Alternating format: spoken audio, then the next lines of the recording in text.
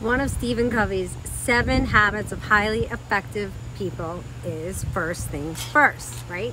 He wrote a book by the same name as well.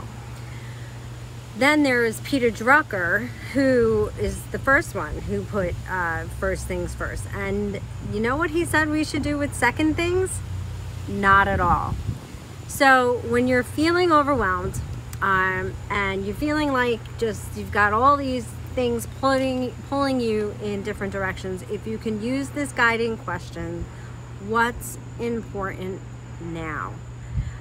We talk a lot about time blocking and being in the zone and all these different things, but sometimes it all collides. So what's important now, right?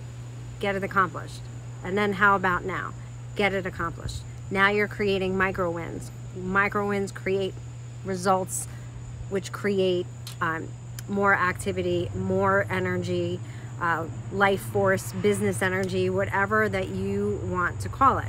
So that does not mean working all the time or obsessively because sometimes what's important now, like my hungry husband inside, is cutting it off and spending time with family. I hope that this helps. Keep it simple and just keep making progress.